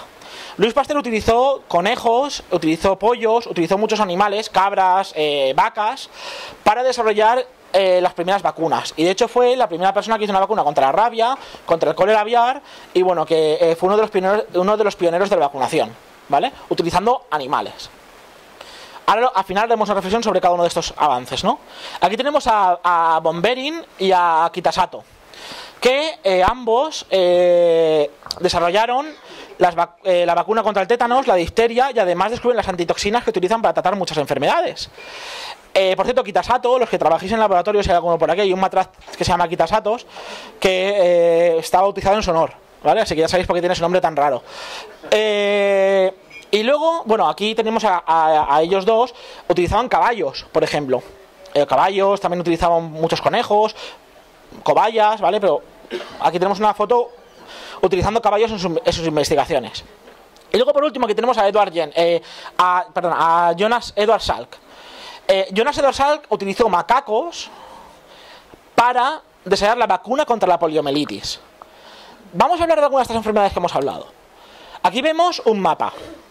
Vemos dos claras zonas, ¿vale? Una zona amarilla y una zona roja. La zona roja, este mapa representa la mortalidad por rabia, ¿vale? La rabia actualmente mata a eh, 55.000 personas aproximadamente al año. Y vemos que hay una parte que no, muere nadie y una parte que práctica, está roja, o sea, eh, muere mucha, mucha gente en esas partes. ¿Cuál es la diferencia entre esa zona y la otra? ¿Cuál es la diferencia entre que mueran 55.000 personas y no mueran 55.000 personas? La vacuna contra la rabia, es así de simple. O sea, la vacuna contra la rabia, ya como tratamiento, incluso cuando estamos de un animal rabioso o como medio preventivo antes de que contraigas la rabia, salva miles de vidas y ha salvado millones de vidas desde que hace 100 años se implantó. Es uno de los avances que ha traído la experimentación animal. Por ejemplo, hablábamos de la difteria, del señor Kitasato y Bombering que habían desarrollado una vacuna contra la difteria. la difteria es una enfermedad que tiene una mortalidad del 20% en niños y del 10%, eh, perdón, del 20% en, niños y del 10% en adultos. Eh, actualmente existe una vacuna contra la difteria que generalmente se pone a los niños, a no ser que tus padres no quieran que te la pongas, que tristemente es un caso que ocurre cada vez más, más comúnmente, pero en principio es una enfermedad que eh, pues ya no causa mortalidad infantil, si uno no, si uno no quiere, prácticamente, ¿vale? Entonces, eh, ¿cómo era la enfermedad ¿Cómo era esto en el año 1930? En el año 1930 la difteria era la tercera causa de mortalidad infantil en Inglaterra, que no es poca cosa. La poliomielitis. Vamos a ir un poquito más cerca. Año 1980. Muchos de vosotros habéis nacido entre el, pues habéis nacido en, la década de los 80, ¿vale? En los años 80 la poliomielitis dejaba, no voy a entrar en cuánta gente moría o no, dejaba paralizada de por vida a mil niños al día, lo cual supone una cifra de 365.000 niños al año, paralizados y con graves deformaciones físicas para el resto de su vida. Año 1980. La vacunación y la experimentación con macacos ha permitido que eso no ocurra. La poliomielitis hoy prácticamente está erradicada, excepto en algunas zonas como Afganistán, donde cuando van los médicos a poner vacunas los matan, ¿vale? Tristemente. Pero la poliomielitis ha dejado de dejarnos imágenes como esta. Yo entiendo que mucha gente, las imágenes de los laboratorios de los animales bajo experimentación les puedan, les puedan ocasionar dolor y lo, es totalmente respetable. Yo también pido que la gente mire estas imágenes a veces. Y ya no vamos a enfermedades tan mediáticas, vamos a hablar de enfermedades más simples. La varicela ocasionaba en Estados Unidos, antes de la llegada de la vacuna contra la varicela, solamente en Estados Unidos, 450 muertes al año. La meningitis 600 y la tosferina 9000 al año. Sumar eso, o sea, multiplicar eso por los años que han pasado, por los países en los cuales esto ocurre, y veréis cuántas muertes al año ocasionan estas enfermedades que hoy en día ya no son un problema de salud pública. Y ya no solamente eso. No hemos llegado a esto y no solamente estaremos... Porque si dejamos de aplicar la experimentación animal, esto no lo vamos a perder. Pero otras enfermedades que aún tenemos, no, va, no vamos a poder controlarlas. Pero ya no solamente eso. Hablemos de ciencia básica. La ciencia básica Hoy en día, como hemos visto, más del 50% de los animales van destinados a ciencia básica. Campos como la neurobiología, si dejamos de hacer experimentación animal, no podrían seguir avanzando en su conocimiento. Campos como eh, el estudio de las células madre, que tan prometedoras pueden llegar a ser en algún momento, es ciencia básica, pues no sé si va a tener una aplicación clara no, pero es conocimiento. Pues estaríamos renunciando a ese conocimiento o la moderna genética. Se habla mucho de la medicina personalizada, de lo que va a ser la genética en el futuro. Bueno, pues todo eso, si quitamos la experimentación animal, se va a la basura. Entonces, mucha gente argumenta que ya hemos avanzado lo suficiente, que ya hemos alcanzado un punto en nuestro desarrollo en el cual ya no hace falta seguir avanzando y que no hace falta que sigamos experimentando más. Al fin y al cabo tenemos la vacuna contra la poliomielitis, tenemos este tipo de cuestiones y que no hace falta seguir avanzando más. Yo para acabar voy a contar un caso, y es la esclerosis lateral amiotrófica. La ELA, conocida, que hace poco hubo una campaña muy conocida en la televisión para este para recaudar fondos. la ELA es una enfermedad que cuando te la diagnostican, generalmente eh, a los 5 años, eh, pues acabó. O sea, es una enfermedad que te va paralizando poco a poco, te va eh, dejando postado, al final no puedes ni vestirte, no puedes hacer prácticamente nada por cuenta y al final mueres. Hay algunos pacientes que viven durante más un periodo de, tiempo más largo. Un ejemplo mediático es Stephen Hawking, el científico tiene ELA, si no recuerdo mal, y ha vivido durante muchos años porque hay algunos pacientes que sí que logran vivir mucho más años, pero la media, por lo general la gente muere 5 años después de que te digan que tienes ELA. Eso ocurre pues te la pueden diagnosticar entre los 30, los 50, los 60, ¿vale? Es una cosa que nos puede tocar a nosotros mañana. Bueno, pues hace poco hubo una campaña muy mediática que se llamó el Ice eh, Bucket Challenger, que básicamente consistía en que tú llevabas un cubo de agua con hielos, te los tirabas por la cabeza, Y entonces grababas un vídeo, lo colgabas en tus redes sociales, donabas fondos para recaudar sobre ELA y nominabas a otra gente para que lo hiciera. Con esta cosa que puede parecer una tontería, se recaudaron millones y millones de euros y pudimos ver a gente. Eh, a Justin Bieber se tiró un cubo y donó mucho dinero para ELA con, con, la- con esta historia. A Bill Gates, a gente de la NBA, a Rafa Nadal, a un montón de gente. Y se recaudó mucho dinero. Se concienció a mucha gente sobre esta enfermedad. Pero mi pregunta es, ¿a dónde fue ese dinero? Ese dinero fue en gran parte investigación científica y en gran parte estudios que requerían del uso de animales. ¿Vale? De hecho, uno de los grandes avances que se hizo fue hacer una- un ratón que tenía la variante genética de la enfermedad que se ha podido utilizar como modelo en, en laboratorios para poder estudiar el ELA y para que esa gente tenga alguna esperanza de que ya no si te han diagnosticado la enfermedad hoy, de que te vas a curar, pero que la gente en un futuro sí que tenga una esperanza o de que al menos puedan sacar algún fármaco que mejore tu calidad de vida. Bueno, pues todo eso, por muchos cubos que nos tiráramos encima, por muchos Justin Bieber, Bill Gates, Rafa Nadal que se tiraron un cubo de agua encima, todo eso sin la experimentación animal, sin la experimentación biomédica que se hace utilizando modelos animales, no serviría para nada. Y así que por todo esto yo estoy a favor de la experimentación animal. Y esto es todo.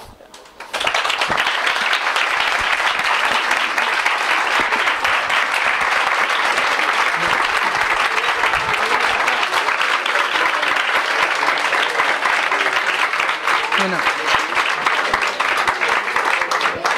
A partir de ahora, todo el mundo que quiera hacer algún tipo de pregunta a Fernando o incluso quejarse, ver algún error de la charla, puede ser. Yo, por ejemplo, voy a decir uno. En el tema, por ejemplo, de la experimentación animal, dentro de la parte de cosmética, en Estados Unidos y en Europa no solo está prohibido experimentar, sino vender ningún tipo de cosmético que haya sido testado en animales, aunque haya sido en otro país. Eso es para evitar, porque hasta hace muy poco tiempo no se vendía cosmética experimentada en animales en Europa, pero sí que se experimentaba fuera, por ejemplo en Indochina, y se traía aquí, y eso ahora también está prohibido. Y es una cosa que, si no es un error, se lo ha dejado, se le ha olvidado mencionarlo a Fernando, pero bueno, si alguno tiene alguna pregunta, duda, cuestión, meterse con él. ¿Algún fan? Perdón. A ver, yo sí tengo, bueno, me gustaría saber un poco tu opinión, porque por ejemplo, ya no sé hasta qué punto ha llegado, eh, pero se, ha, haya, bueno, se ha hablado de, por ejemplo, un ratón transgénico para, por ejemplo, eh, estudiar la alopecia en hombres y en mujeres. Entonces, claro, eso te quería un poco tu opinión, porque claro, según se podría mirar desde el punto de vista de que es realmente algo cosmético, porque realmente no es una enfermedad como tal que pueda preocuparnos, como es la ELA, o como por ejemplo pueda, pudiera ser la difteria. Pero claro, a lo mejor desde el punto de vista psicológico para muchos hombres, incluso mujeres, que son los casos más importantes, realmente la, el tratamiento para la alopecia a lo mejor con animales se podría, se podría buscar alguna, algo más eficaz. Más o menos en ese aspecto, ¿qué opinión tendrías? Aquí yo creo que las implicaciones morales son curiosas, en el sentido de que, eh, a ver, yo, para ser totalmente honesto, voy a partir diciendo mi opinión y luego voy a argumentarla, ¿vale? Yo no estoy en contra, ¿vale? Eh, pero yo creo que aquí hay una cosa interesante y es que cuando tú estás haciendo investigación sobre una cuestión, muchas veces surgen otras cuestiones accesorias a lo que estás investigando que realmente te aportan muchos datos sobre otras cosas. Lo que puede empezar como una investigación sobre la alopecia puede también eh, pues acabar en una investigación sobre cómo se forma el folículo piloso. No sé, estoy eh, hipotetizando porque no conozco el caso, ¿vale? Además, en este caso, eh, sí que hay una parte que, que es interesante, que es eh, la parte de la alopecia femenina, es decir, eh, las implicaciones psicológicas. En ambos grupos de población no son las mismas. Por ejemplo, ¿es un tema cosmético las operaciones estas en las cuales se trasplanta una cara a una persona que ha sufrido quemaduras por ácido? ¿O la cirugía estética correctora para, para gente que ha perdido una parte de la cara por un accidente? Este tipo de cuestiones sí que tienen una parte estética, pero la parte más interesante que se intenta solventar en este tipo de cuestiones es la parte psicológica, de la cual apuntabas.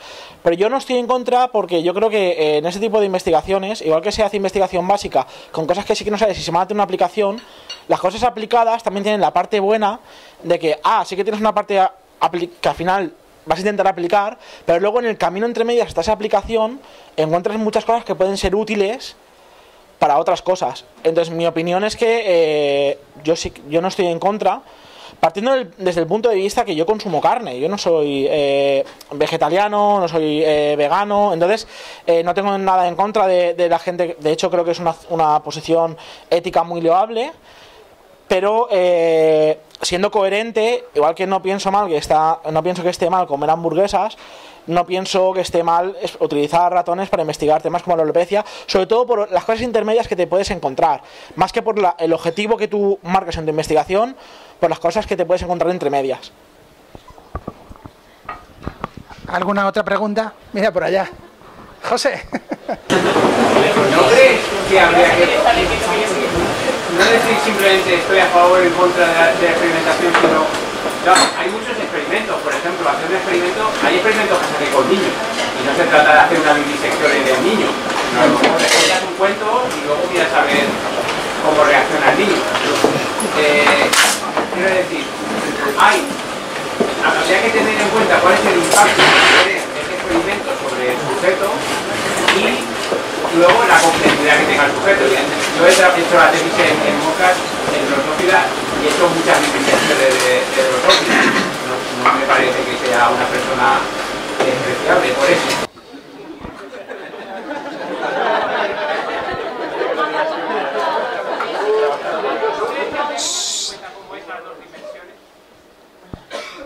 Bueno, no sé si... Eh, claro, es que eh, lo que decía al principio, que no toda la experimentación animal busca ni una aplicación en humanos, luego hay otras cosas que por la extensión de la charla tampoco se puede entrar mucho, que es la que tú dices, por ejemplo, que es para qué, qué procedimiento se va a utilizar. Por ejemplo, en primates hay, unos, hay muchos experimentos etológicos y se utiliza grandes primates, así como yo sí que tengo... Yo, yo particularmente eh, tengo muchos reparos a la hora de pensar en experimentación con grandes primates, por ejemplo. Yo tengo muchas dudas éticas y morales a ese nivel y no me atrevería a posicionarme de forma clara en función del caso, pero en función de qué experimento estamos hablando, porque luego con grandes primates se hacen muchos experimentos interesantes, por ejemplo a nivel etológico. En Alemania se hacen muchos experimentos sobre eh, comportamiento social, sobre habilidades cognitivas, y claro, el impacto que tiene sobre el animal no es un impacto muy elevado. Luego, claro, efectivamente uno puede estar, o no es un todo o nada, una persona no está a favor o en contra a nivel total. Aquí yo he defendido una posición eh, total, pues... eh, que sí que partía de que a favor de la experimentación animal, pero no a favor de cualquier experimentación animal. Yo, por ejemplo, una experimentación animal sin normativas éticas no la vería correcta, por ejemplo. Entonces, lo que tú dices, que depende de cómo se vaya a aplicar, a quién se vaya a aplicar, qué efectos vaya a tener sobre el animal. Las simplificaciones éticas son muy diferentes, claro. Bueno, eso que se ha comentado, que había una campaña de cuestación para utilizar políticos corruptos en experimentación, es falso. ¿Había ahí una pregunta? Yo quería pla- plantear simplemente las, en este aspecto lo que no ha tocado apenas es así los aspectos culturales. Te nosotros estamos casi influidos por los anglosajones que sus mascotas lo viven, los perritos, eh, son, son parte de la familia. En cambio los chinos pues no tienen, son eh, en teoría más, más crueles. Eh, la historia de esto del campo. Ahora somos urbanistas, antes los animales eran una herramienta de trabajo, no había ningún problema que te digo yo en matar el perro pastor de la familia para luego aprovechar el pellejo para cobertores de las vacas. Eh, ha cambiado la sociedad y entonces lo que planteaba es eso, dices, estamos ahora cogiendo las cosas con no, evitar el sufrimiento animal, si el animal sufre a lo mejor los experimentos no dan los resultados correctos y por eso es interesante. Grandes primates, grandes primates hay, aparte de los humanos, pues son, hay pocos chimpancés, hay pocos gorilas, hay pocos orangutanes, no, no es lógico usarlos. Así dices, porque para usar un chimpancé, puedes usar así 45.000 blesas o borrachos. Bueno, desconozco la pregunta, pero yo... El factor cultural, que yo creo que es por donde vas, es un factor muy importante. De hecho, lo que comentas es cierto. En función de la sociedad don- donde uno vive, eh, se otorga eh, se otorga un valor a la vida animal o se otorga otro valor a la vida animal. Y eso depende mucho de, lo- de los códigos internos de cada sociedad. Por ejemplo, en la Edad Media, eh, tú plantearías est- plantear estas cuestiones a lo mejor no tendría sentido cuando eh, la gente se estaba eh, se estaba muriendo de hambre a- en la granja. pues, Me refiero que las preocupaciones de cada sociedad, lo que en Alemania llaman el Zeitgeist, ¿no? el espíritu este del tiempo, marca mucho eh, lo que se considera moral o no moral, eh, ético o no ético eh, en, una, en una época. Entonces, con el tema de la concepción social del, del animal, sí que es cierto que, por ejemplo, lo que comentas, que en muchas sociedades no hay una cercanía tan tan intensa con los animales, pero por ejemplo, lo que comentábamos antes de los sesgos a nivel de, morfología sí que es algo muy interesante y muy curioso, porque eh, sí que son sesgos que se producen a, muchos niveles en muchas culturas diferentes. Y, esa empatía, bueno, pues tiene, tiene por lo que especulan, yo ahí no voy a entrar mucho porque no, no tengo la suficiente solvencia para hablar mucho sobre ello, pero por lo que yo he leído en artículos mientras que redactaba el, libro, eh, lo que he visto es que eh, se argumenta que a nivel psicológico sí que hay cierta tendencia a que los rasgos eh, infantiles eh, o pues en animales nos resulten más más dignos de empatía, también por una cuestión de que nosotros tenemos más empatía hacia los bebés humanos. Entonces, eh, estas discusiones interesantes que sí creo que hay un factor cultural muy interesante, muy importante, pero también creo que hay un factor biológico, como en prácticamente todas las cosas, que también marca que tengamos más empatía o no por algunos animales. Pero sí, el factor cultural es muy importante. Bueno, también os quería decir que parte de la, de la variación de la experimentación, lo ha comentado con el caso de la talidomida de los años 50 hasta ahora, eso está más desarrollado en su libro, que lo va a vender, va a poner un puestecito en la entrada dentro de unos minutos, os animo a comprarlo. ¿Alguna pregunta más? Venga, ahora que tenéis la opción. Yo,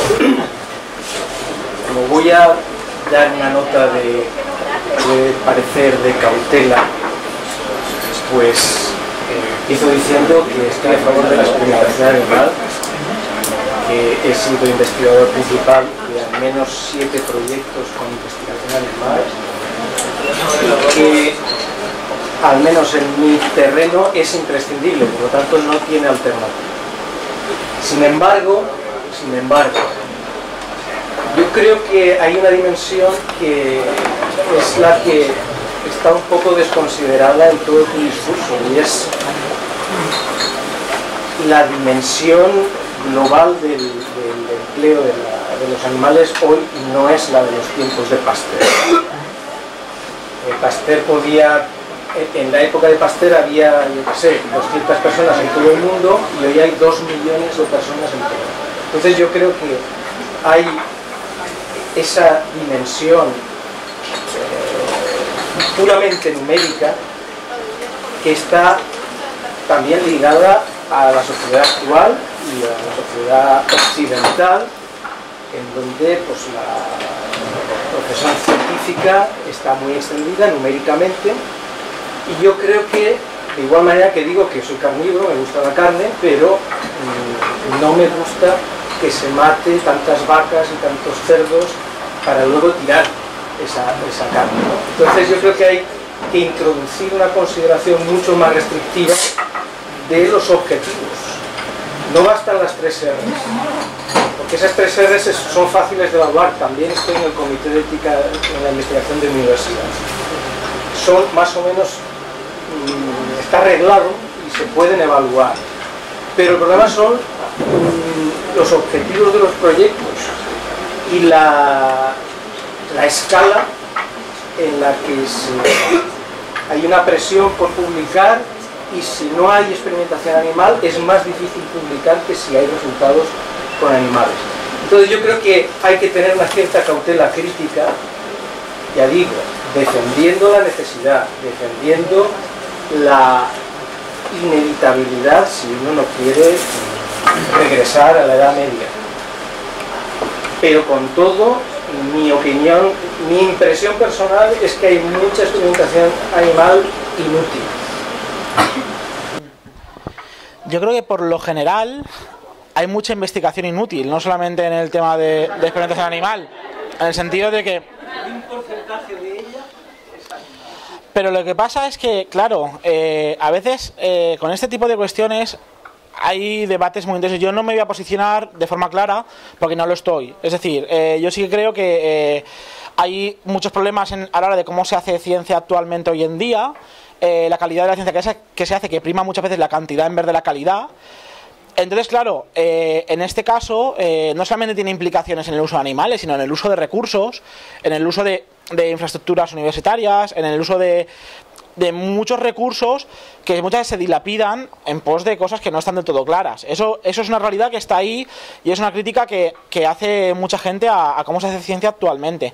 En cuanto al uso de animales, eh, yo creo que es una consecuencia de, de- esta dinámica, en la cual obviamente yo estoy en contra. Yo creo que la cien- yo aspiro a tener una ciencia eh, que, que no se centre en la cantidad y fije objetivos de calidad más claros. Entonces, claro, ahí estoy de acuerdo no solamente en el tema de que se utilicen menos animales para hacer cosas que no están de claro, para publicar más, para repetir un experimento que ya se ha hecho muchas veces, para intentar tener otra publicación más en tu currículum. Son cosas que ya no solamente son inherentes al tema de experimentación animal, sino a la labor investigadora de hoy en día. Entonces sí, desde luego tampoco puedo añadir ni criticar nada de lo que has hecho porque es que en gran medida comparto tu, tu opinión. No he entrado en ese aspecto, eh, pero bueno, eh, durante la charla, pero a posteriori te digo que sí, que comparto esa, esa opinión, pero no como un problema de la experimentación animal, sino como un problema mucho más alto que eso, sino de cómo se hace ciencia hoy en día. Yo creo que todos estaremos de acuerdo que hacer una experimentación para ver cómo el humo del tabaco mata ratones y empezar a mm, matar miles de individuos para experimentar eso es innecesario, abusivo y un, crimen. Entonces, depende del experimento, sin tener conocimiento. ¿Alguna pregunta más? ¿Cuestión? ¿Se ha, ido- ha quedado todo clarísimo? ¿Todo el mundo estáis a favor?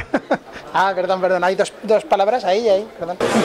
A ver, yo era simplemente un comentario sobre la legislación actual, ¿no? De, que ahora los que trabajamos realmente nos encontramos, pues eso, muchísima burocracia, muchísima legislación.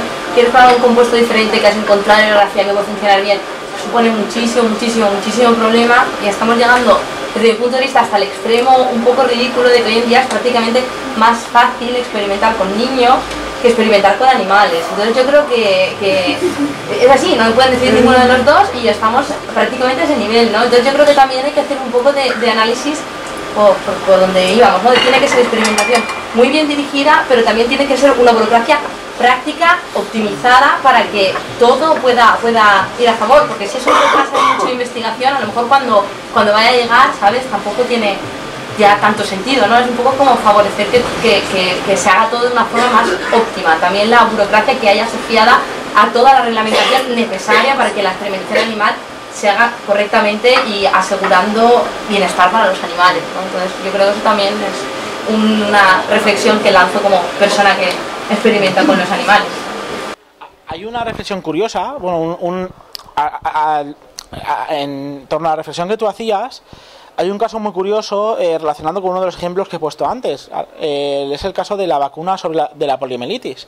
Salk hizo su vacuna que se basaba en, en inyectar, eh, si no recuerdo mal, eran pues, eh, pues, eran virus, era pues, el virus muerto, ¿vale? De, de la, que provocaba la enfermedad. Pero luego Sabin, si no recuerdo mal, fue Sabin, hizo una vacuna, entre comillas vacuna, porque lo que se hacía era se daba un terrón de azúcar en el cual se ponía una gota con, con bacterias debilitadas, no muertas, ¿vale? Y eso se, se hizo, se propagó de forma muy rápida y se repartió por todo el mundo. ¿Qué pasaba? La vacuna de, de Sabin, eh, a pesar de que hacía una inmunización mucho más efectiva y no solamente protegía al enfermo, sino que protegía en torno a la diseminación de la enfermedad, porque además impedía que en el tracto digestivo eh, el virus se podría reproducir y, y con las heces y todo este tipo de cosas, pues era más efectiva, esa la realidad, y la inmunización era mejor. Pero tenía un pequeño efecto secundario, y es que una un pequeño porcentaje de los niños, en aquel momento, ¿eh? ahora eso ya se solucionó, pero en aquel momento un pequeño porcentaje de los niños a los cuales le daban el terroncito de azúcar, eh, desarrollaba la enfermedad, podía quedar paralizado, incluso podía morir. Entonces fue una cuestión numérica, en el sentido de que en ese momento se inició todo el tema de la vacunación, se logró erradicar prácticamente la enfermedad, pero a un pequeño coste, es decir, un grupo, las- la- los efectos secundarios que tuvo este, esta cuestión no fueron despreciables, pero claro, e- era mejor el remedio que la enfermedad. Pero claro, hoy en día eso sería muy difícil de sacar. Hacer lo que se hizo en su momento con la poliomielitis hoy en día sería muy difícil y por temas burocráticos morirían muchos niños. Más allá de los que, se de los que dejarían de morir por utilizar el terroncito de Sabin, los que morirían por la poliomielitis o quedarían paralizados de por vida. Luego, la burocracia en algunos casos eh, puede, puede frenar un poco el desarrollo. Pero yo creo que a veces es un pequeño precio a pagar, ¿no? Porque eh, siempre no se puede regular, eso que dicen que no siempre llueve a, a gusto de todos, tampoco se- siempre se puede regular a gusto de, de todos, ¿no? Y la burocracia te las da y te las quita como, como quiere. Pero claro, pero a veces es una consecuencia inevitable de todas estas cosas, ¿no? Y, pero es curioso, ¿no? Pensar en, cómo eh, la burocracia, que es necesaria por algunos casos, puede llegar incluso a costar vidas. Es una cosa, una cosa curiosa, ¿no? Es, también es un precio a pagar por...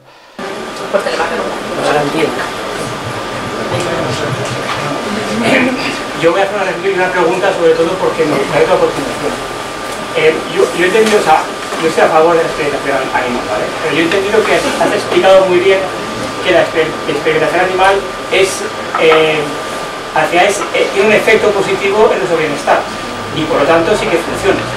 Pero mi pregunta es, ¿tú qué piensas? a- Partimos de un a priori de que el sufrimiento de los animales está justificado porque funciona la experimentación animal o tendríamos que velar por intentar contemplar el sufrimiento, ese equilibrio entre cómo sufren los animales y qué obtenemos. Claro, una parte importante de lo que comentaba era, eh, era explicar que incluso tirar piedras sobre el tejado de la gente que defiende la experimentación animal como soy yo. Es decir, eh, hay cuestiones que no se tienen en cuenta y que por una cuestión de, tener una, la conciencia tranquila, eh, se dice, no, es que realmente los grandes primates sí que esto, pero las moscas pues tampoco, los cuervos y los loros, pues, pues, en el sentido de que el sufrimiento animal es algo complejo y no es nada desdeñable. Ahora bien, respondiendo a lo que tú dices, eh, yo creo que el sufrimiento animal eh, no es comparable al sufrimiento humano a muchos niveles, aunque no es desdeñable. No es desdeñable lo que tú decías, pero yo creo que actualmente eso sí que se contempla. Y yo, por ejemplo, a ese nivel sí que creo que hemos alcanzado un punto que a mí me contenta. Es decir, el tema de que se vele por el bienestar animal durante los procesos de experimentación, a mí me, me, me genera... yo creo que, que, es- que está a un nivel que me parece adecuado. Hay puntos donde se podría hilar más fino. Por ejemplo, habría que contemplar temas como la complejidad cognitiva en otros animales que por sesgos propios de que ah, el, el pajarito tiene pico y tiene los ojos pequeñitos. No se parece a un perrito que lo puedo poner en Facebook y etiquetar a mis amigos y decir. Entonces, claro, ese tipo de sesgos a mí me parece interesante también contemplarlos en la ocasión. Pero yo creo que sí que contemplar el tema del sufrimiento, pero yo creo que actualmente ya se contempla. Entonces yo sí que estoy, eh, yo creo que actualmente la normativa actual sí que lo contempla y, y yo creo que, que se ha alcanzado un punto de equilibrio que a mí me convence. ¿Alguna pregunta más? ¿Os ha quedado todo el mundo claro? Ah, perdón. Ahí. Eh, yo también quería partir de que también estoy a favor de la experimentación animal. Si alguien está en contra lo puede decir de priori, ¿eh? No, en el proyecto de tesis en el que estoy en también investigamos con animales, ¿vale? Pero un poco ahí lo de lo que decía él y lo que decía también el compañero, es que creo que también hay una especie de, mm, pensamiento peligroso, que es, es muy fácil entre la comunidad científica retroalimentarse de cara al tema de la necesidad de seguir usando animales a lo largo del tiempo. Sí que eso siguen siendo necesarios, pero pienso que hasta qué punto, por ejemplo, cuando a lo mejor haya modelos, por ejemplo, hace poco las últimas tecnologías, eh, Nature declaró tecnología del año en los organoides y en biomedicina se están, el tema de las unidades funcionales y eh, con el tema también de biomateriales se está avanzando mucho en ese sentido y está siendo muy útil para la hora de explicar enfermedades, bueno, el funcionamiento de órganos y enfermedades asociadas a ellos. Entonces, eh, ¿hasta qué punto en un futuro, si hay una retroalimentación a favor de la experimentación animal, vamos a poder dejarla de lado cuando realmente no sea, no sea del todo útil? Porque yo sí que pienso, como decía el compañero, que hay mucha experimentación animal que no, no está del todo justificada y creo que la, la burocracia precisamente ayuda un poco a parar los pies, porque tú también has dicho ahora una premisa que también hay que asumir, que es que el sufrimiento humano está por encima del sufrimiento animal en muchos niveles. Cuando, por ejemplo, en un ámbito totalmente lejano a la experimentación animal, como puede ser el factor antropogénico, eh, urbano o el impacto de las que hacemos los seres humanos en otros ámbitos en los que no buscamos dañar a los animales, cómo ellos están sufriendo psicológicamente y físicamente. Entonces, quiero decir, hay, a favor de la experimentación animal hay que hacer una serie de asunciones que, como tú has dicho, no, tenemos, no se tienen por qué asumir unánimemente, ¿no? Entonces, Ahí yo creo que, que ocurre una cosa. la presión por obtener resultados funciona en ambas direcciones. Es un arma de doble filo. Es decir, tú quieres publicar mucho, pero también quieres que tu publicación tenga máximo impacto, que sea, pues más, eh, los resultados sean más, más, pues más robustos y ese tipo de cuestiones. Luego, en, cual, en el momento en el cual surgen alternativas a la experimentación animal o cosas que complementan la experimentación animal, que ofrecen el mismo resultado o superior, la gente se lanza a ello, en el sentido de que eh, si tú puedes obtener eh, un modelo que no es. O sea, tú puedes hacer lo mismo que haces un animal, pero de forma más controlada. Pues imagínate que tú tienes un modelo, pues los organoides que comentabas, o un modelo robusto que te permite eh, evaluar ciertas cosas que antaño se hacían con animales, ¿vale? Eh, cuando tú llegas a un punto en el cual eso es más eficiente, la tendencia natural del investigador es intentar buscar publicaciones de mayor impacto, de mayor calidad. Luego, en cuanto esas tecnologías lleguen y sucedan a la experimentación animal, yo creo que no va a haber ningún problema en la, en la implantación, justamente por el mismo problema que tenemos a muchos niveles, que es que se publica, se quiere publicar mucho y se quiere publicar de mucha calidad, o a veces mucho y la calidad se deja aparte, apartada en un rincón, pero bueno, eh, cuando llegue un momento en el cual eso sea más útil que lo otro, yo creo que se utilizará. Sería, por ejemplo, como, cuando antiguamente las PCR se hacían... Eh, pues era un proceso muy largo, no se utilizaba la TAP polimerasa, llegó un señor, eh, Karim Mullis, eh, tal no sé qué, eh, introduce una enzima que es más efectiva, que no hace falta cambiarla cada vez cada vez y se implanta. ¿Por qué? Porque es más útil, ahorra tiempo, los resultados son más robustos, tienes menos pasos entre medias. Entonces, hubo una sustitución natural. Entonces mucha gente podría intentar comentar, no, es que en ese momento como ya había mucha gente utilizando esa metodología, podía haber una resistencia al cambio. La resistencia al cambio es una realidad que existe en, todos los aspectos humanos, pero yo creo que en ciencia muchas veces es menor. Obviamente existe cierta resistencia al cambio, pero cuando yo creo que cuando algo es efectivo o más efectivo que lo que se utiliza, yo creo que se acaba implantando sin ningún problema. Yo tengo un comentario sobre este asunto en concreto, que creo que no es algo específico de, experimentación animal, ni siquiera del campo, sino que es algo que ves en otros campos de la ciencia también. Yo soy físico de partículas y en física de partículas estamos acostumbrados últimamente, en los últimos 40 años, a hacer aceleradores gigantescos que cuestan una enorme millonada y que nos han dado resultados científicos maravillosos y fabulosos. Pero el último que hemos hecho resulta que solo ha descubierto una partícula que ya esperábamos y no está descubriendo nada más.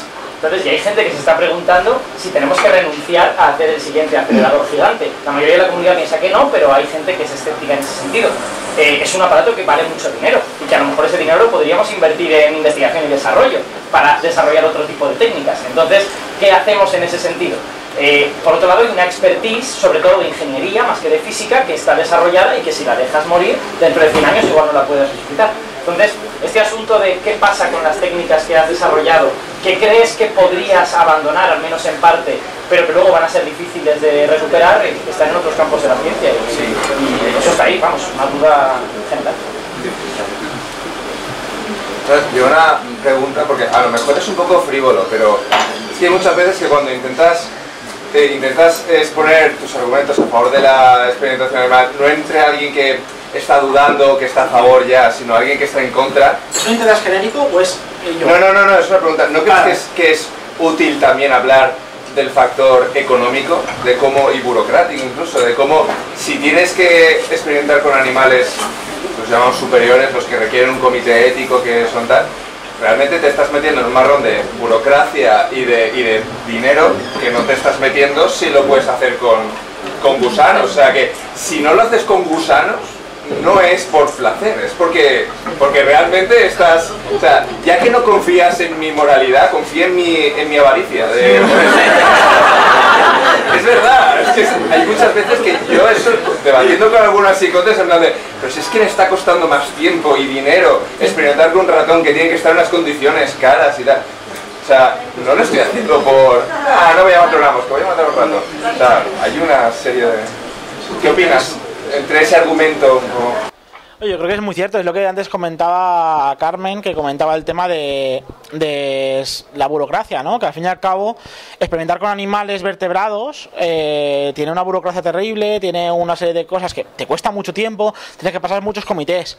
Entonces, al, al, en colación a lo que comentaba antes el, compañero, que, eh, que si puede haber que, ocurrirá, si se podrá sustituir o no por una técnica que no utiliza animales, a ese nivel también yo creo que ese argumento refuerza, y la verdad que la analogía, el, pues tu argumento es, es poderoso, ¿no? Porque es fácil comer.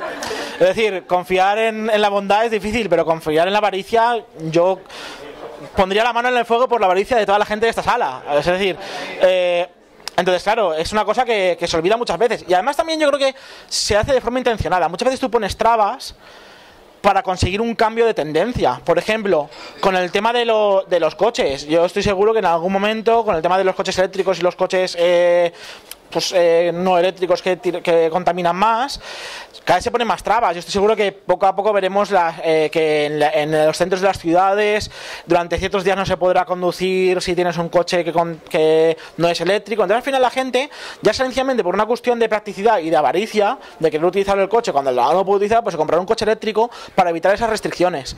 Yo creo que es un argumento poderoso. Y hay que decir que hay investigadores que trabajan en experimentación animal y tienen perrito y no lo matan ni lo sacrifican y son hasta antitaurinos y todo. ¿Alguna pregunta más por ahí? ¿Alguien? Sí, eh, una pregunta es que hay, hay un tercio de la gente más o menos, casi dos quintas partes, que está en contra de la experimentación animal por los datos que has mostrado. Mi pregunta es, una conversación así de bar donde no da lugar una exposición de una hora, ¿qué estrategia utilizamos para convencer a esa gente? Porque hay una estrategia que me parece un poco peligrosa y es que si vamos al último punto de tu charla, que es de si no tuviéramos esto, ¿qué hubiera pasado? Lo mismo se puede aplicar a, bueno, y si no experimentamos en enfermos terminales de cáncer, no, no se descubrirían, de hecho no se descubren muchos medicamentos mucho más potentes de los que seguramente tenemos porque no sacrificamos a gente. Entonces, el punto de vista puramente utilitarista no, creo que no es un buen argumento. ¿Cómo lo enfocarías tú o cómo intentas? Claro, No es, no es un buen argumento por muchos motivos, entre el, entre el que decías, pero claro, a nivel histórico se han hecho muchas cosas que han estado mal y que han permitido el avance. Entonces, en la parte moral, lo que yo decía al principio es que algo puede hacerse no quiere decir que deba hacerse, ¿no? O que hayamos llegado hasta un punto. Claro, yo creo que el precio que hemos tenido que pagar para llegar a este punto, bajo mi punto de vista, hablando de experimentación animal, no se han sobrepasado fronteras éticas que a mí me parezcan escandalosas. Eh, en función de qué tipos de experimentos estamos hablando y en qué época, pero yo creo que en los últimos 20 años para mí no ha ocurrido. Pero sí que es cierto que el argumento historicista de, de a dónde podríamos llegar o cómo hemos llegado no es un buen argumento. Y respondiendo a tu pregunta, yo creo que ese tercio de las personas, mucha gente se opone a la experimentación animal porque realmente no sabe qué es la experimentación animal. Es decir, yo creo que hay un pozo de gente que sí que realmente se opone por fuertes convicciones morales. ¿Vale? Entonces, a esa gente no la puedes convencer. Es más, yo creo que no habría que convencerla. Tienen su- sus valores morales. eh, y oye, a mí me parece estupendo que haya gente que defienda esas posturas y me parece sano que, que haya gente que defienda. Porque a lo mejor dentro de 200 años se ve una barbaridad experimentar con animales, o se ve que ha, ha habido un cambio de tendencia, ha habido un cambio de valores éticos y morales en la sociedad, y a lo mejor se entiende que, que, bueno, yo, yo eso lo desconozco, pero hay gente que lo defiende. Luego esa gente que lo defiende por motivos morales, obviamente no se le puede convencer porque es la esencia de esa persona.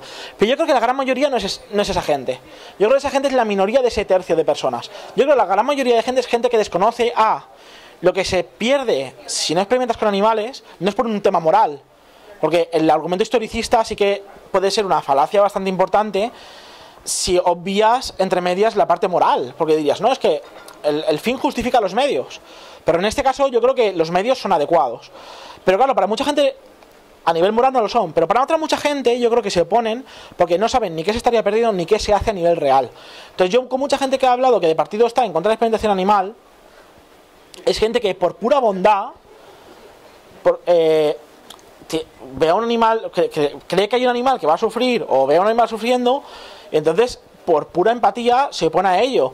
Pero luego cuando intenta explicar sencillamente lo que se consigue, lo que se hace y lo que realmente es la experimentación animal, yo creo que ese es el mejor argumento. Y luego a la gente que a nivel moral se opone por, por esencia propia de sus propios valores, yo creo que esa gente pues eh, no, no hay que convencerla. Yo creo que, que sencillamente tiene su posición bastante clara porque para, él, para esas personas a lo mejor eh, pues el sufrimiento de, una, de, de un roedor es comparable al sufrimiento de un humano. Yo no comparto esa opinión. Y también creo que, que hay argumentos biológicos potentes que me hacen pensar que, que esa no es la posición adecuada. Pero oye, son cuestiones morales que en las cuales ahí no se puede dar. Pero para la otra gente la mejor estrategia es explicar simple y llanamente qué es la experimentación animal y qué se hace con ella. De todas maneras, al que le venga ahora mismo a la cabeza alguna experimentación animal, la famosa es Pavlov, sus perritos, comida, un timbre. y nadie piensa en nada criminal ni sádico, y el que puede ser un Frankenstein cuando la moral y la ética se dejada de lado, lo peor que se ha hecho en el mundo ha sido Mengele y ha sido con personas. Ahí lo dejo. De, de hecho, de hecho hay, un, eh, hay una cosa que muy poca gente conoce, y es que Hilder era un gran amante de los animales, hasta el punto de que, de que fue un gran promotor de, de- del vegetarianismo entre sus oficiales, y no solamente eso, sino que la Alemania nazi fue eh, el segundo país europeo el, eh, que introdujo una legislación para proteger el bienestar animal. Y no solamente eso, sino que prohibió la experimentación animal. Y luego se aprobó gracias a que su médico se volvió a admitir la experimentación animal porque su médico le, dijo que bueno que se, que se permitiría mucho conocimiento.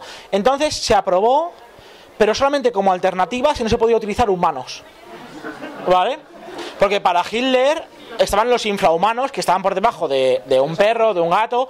Entonces, para él era más ético experimentar con judíos y con, y con eso que con, que con animales. Y ojo que hoy en día hay mucha gente que defiende lo que he dicho antes, que se experimente con presos. ¿Sabes? Hay mucha gente que defiende que se experimente con presos, que se experimente con gente que haya cometido crímenes muy graves, en vez de experimentar con animales. Entonces, eh, ahí hay posturas éticas que me parecen bastante monstruosas. ¿Alguna pregunta más? ¿Alguna duda? Sí, yo quería decirte una cosa. Lo primero que me gusta mucho la charla, me gusta mucho cómo lo has explicado y me ha quedado muy claro. Pero he hecho un poco en falta alternativa, porque mm, los datos lo, lo habéis estado hablando antes de futuro. La población en Europa está a favor de, de dejar que se, dejar que se o sea, de, parar de experimentar con animales y vaya en crescendo. O sea, a lo mejor va a haber un momento, como tú decías, dentro de los 500 años eh, ya no se va ya no se va a querer hacer así. Y si la ciencia llega un momento en que deja de, de responder a lo que requiere la sociedad, no tiene sentido. No parece que deja de tener sentido. Entonces he hecho un poco en falta una alternativa porque sí que es verdad que no dejaría morir a una persona antes que a un animal, pero sí que preferiría que se investigara de maneras distintas un animal si se pudiera. Y dar un poco la sensación de que, de que no se va a poder. Y yo no es la sensación de que tengo. Porque si en la ciencia es que la final hay muchas cosas que, aunque parezcan increíbles, se. Ahí yo creo que ha dicho que no se puede a día de hoy, que en un futuro se supone que se dejará cada vez más. Yo ahí eh, voy a contar dos cosas. La primera es que eh, en cuanto al tema de lo que ocurrirá en un futuro, yo creo que hay una tendencia peligrosa a nivel social muchas veces, que es el pensar que la tecnología lo solucionará todo en un futuro. Me explico. Eh, muchas veces se contamina mucho o se hacen barbaridades medioambientales porque bueno la tecnología del futuro permitirá solucionar eso que estamos haciendo ahora. O la tecnología del futuro permitirá crear eh, aumentar la producción eh, ganadera o aumentar la producción de alimentos. Entonces no nos preocupemos por la sobrepoblación porque en un futuro yo esos argumentos los he escuchado a mucha gente defendiendo otras posturas. Entonces con el tema de la experimentación animal yo creo que es posible que surjan alternativas que permitan eh, no utilizar animales, pero también creo que pueden ocurrir. Yo no lo sé, yo no sé lo que va a pasar. Lo que sí que sé es que hay mucha gente trabajando en ello actualmente hoy. Hay muchos departamentos de muchas universidades trabajando en la búsqueda de alternativas para la experimentación animal. Es decir, hay mucha gente trabajando en ello. Hay mucha gente que realmente cree que se va a poder conseguir. Hay mucha gente que cree que no se va a poder conseguir y hay mucha gente que no lo sabe. De hecho, en realidad nadie lo sabe, ¿vale? O sea, aunque uno se defienda la postura y, ot- y otra, nadie puede ver el futuro, excepto Rapel y compañía, ¿vale? Pero me refiero a que eh, yo, lo que te puedo comentar es que sí que hay mucha gente trabajando en ello, pero también mucha gente escéptica respecto a que se pueda, a que se pueda conseguir. Yo no sé lo que va a pasar. Yo creo que puede, hay posibilidades de que se consiga y hay probabilidades de que no se consiga. En cuanto a alternativas, sí que hay mucha gente trabajando en ello, pero lo que vayan a conseguir o no, sola- solamente el tiempo lo sabe, ¿no? ¿Alguna pregunta más? Bueno, parece que ha quedado bastante claro. Muchas gracias a todos y a todas por venir. Un fuerte aplauso para Fernando.